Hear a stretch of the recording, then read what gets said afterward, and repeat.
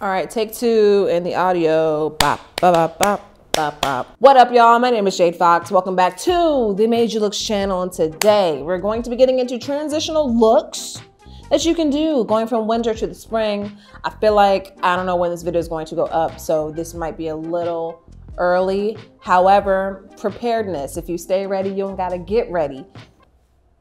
Like I said, if you stay ready, you don't gotta get ready.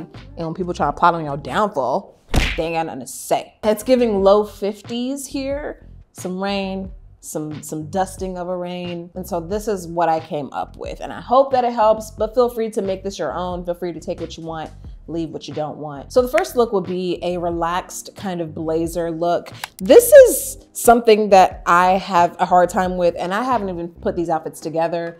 These are just outfits that I know I've put together in the past that are fitting for like a transitional time from colder to not so cold. Um, and these are hard to pull off for me. I'm not gonna speak for you, I'm gonna speak for me. Little hard to pull off, but I really do like it when it does happen. I like incorporating blazers. I'm trying to incorporate blazers more into my everyday because I don't want blazers to become this thing that I only wear when I'm trying to dress up because then if I wear a blazer in an occasion where I'm not needing to be dressed up, it's gonna look dressed up. And so I want to incorporate them more into my everyday kind of casual looks that way.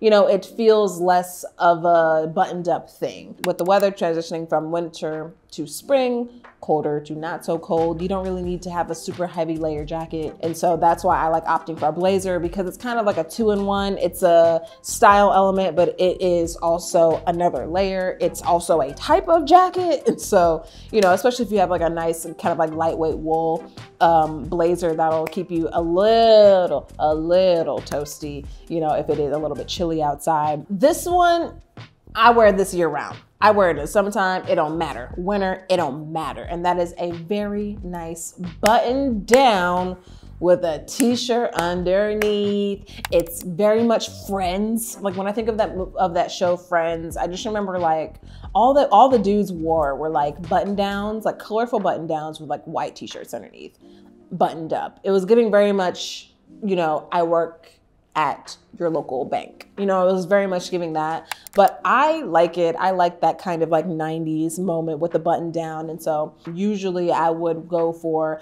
a boot if I wanted to feel a little bit more elevated, or I would go with the sneaker, most likely a high top sneaker. That's kind of my vibe more so than low top sneakers, at least at the moment. So like I said, kind of bring the look down, make it feel more grounded and casual and less like a businessy, I'm about to clock in, you know, kind of vibe. And this is perfect for literally any season because button downs you can get in any fabric and so in any color as well. So like silk, uh, your linens, um, your lighter like cotton blends and that kind of thing are gonna be definitely more suited for like summer and spring, whereas your wools, uh, your more heavyweight cottons, that type of thing will be more suiting or more fitting for the colder months but I think y'all understand where I'm getting at here. And button downs and t-shirts is a staple for me. It's a part of my style DNA. And when it comes to transitioning, it's kind of a go-to. I don't really have to think about it too much. Next is going to be denim on denim. Denim, denim, denim binders and folders, denim, denim. Do you remember that old, old Navy commercial? Denim Converse one star shoes denim. Adopting from the Canadians a nice little denim on denim look. I know this is a very controversial thing, so girls, don't get the tussling. I don't think your denims need to match. That's just me. Denim feels very much like a neutral. I think that green is also a neutral. I think that like certain olive greens are neutrals and I think it's the same thing for denim.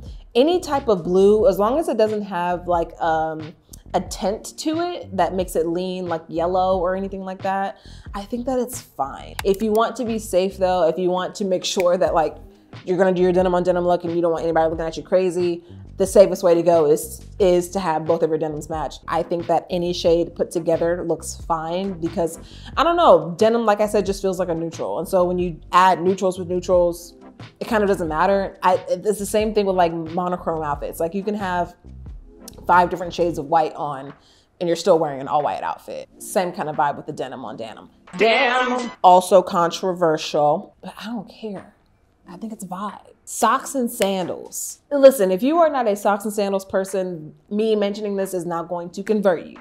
But if you are a sock and sandals person, then you get it and you're with me on this particular style. During the springtime, I wear socks and sandals, usually with like a higher sock and then shorts, but I'm encouraging you to do what feels right for you. And if socks and sandals isn't your gig, then it's just not your gig. And I, hey, no pressure.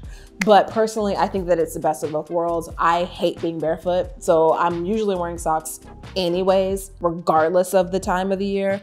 I feel like it adds such a like ease to your outfit and it adds like an element of like kind of ugly or eclectic like to your outfit because it's socks and sandals is kind of jarring. But if you get it, you get it. If you don't like it, you don't like it. But it's just one of those things that once you add it to an outfit, it definitely changes the tone and it makes it feel, I think, more like quirky or gives you kind of like a more unique tone to your fit. And of course, you got the socks in case it gets colder and then the sandals in case it gets hot. And the next style, the last style that I think is really perfect for this kind of like transition moment is any type of like shrunken sweater or shrunken sweatshirt fit. The baby tee trend is definitely like having its moment. And to be honest, I feel like the baby tee trend, I, listen, I am shaking the table today. But I feel like baby tees are timeless. I just do. I feel like it's also like wildly unisex. I love how like just a small shrunken little little little shirt, little t-shirt just looks on a woman. I also like how it looks on a man and anyone in between and beyond. Um, and all body types as well. I feel like it's just cute, you know what I mean? And so I think that that shrunken sweatshirt, shrunken sweater kind of vibe with like a bigger pant is also fitting for the winter to spring time. I don't think that the shrunken element necessarily has anything to do with how warm that piece is. I think whether it was shrunken or if it was oversized, it was going to be as warm as it was, you know? It's more specifically for like the aesthetic of it. It's, you know, kind of adopting those like spring and summer trends where we like to do the, you know, the tighter tank tops and just more fitted short sleeve uh, tops in general. It's kind of adopting that silhouette of just that shrunkenness, but you've got the long sleeves so that you are a little bit warmer if you need to be. Like I said, I don't know how I'm going to style this, but in my mind, I feel like I would wear a pant